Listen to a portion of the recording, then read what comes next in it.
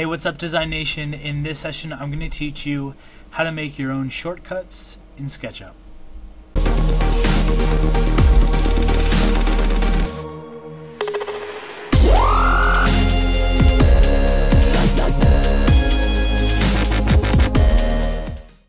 So I'm working on this tutorial to make a animation and I've noticed that I'm using the section plane um, tool a lot and it's really annoying to have to keep going to tools section plane so what I'm going to do is actually make a shortcut so to do that you go to window preferences and you can see here where it says shortcuts and there are a whole bunch of options here um, but actually, they're they're ordered by um, function. So um, window tools. Um, since I'm looking for the section, you can see that it's right here.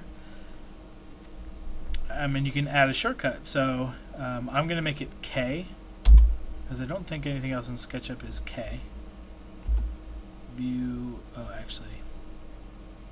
So I don't want that.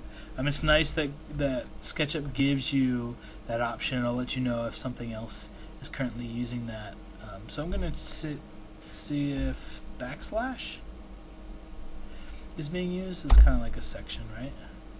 Um, so great, backslash isn't being used for anything. Um, so now it's assigned to section plane. So now when I go to tools down to section plane, you can see it says backslash. But if I just hit backslash on my computer, I now have a quick section plane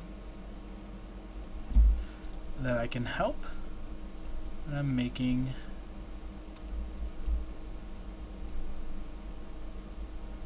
my animation.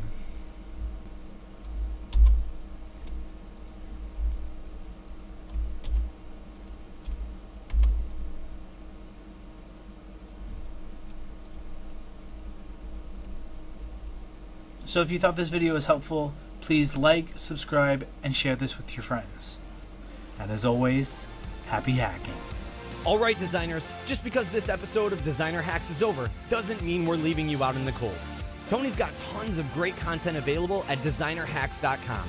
So join Design Nation right now, and we'll see you on the next episode of Designer Hacks.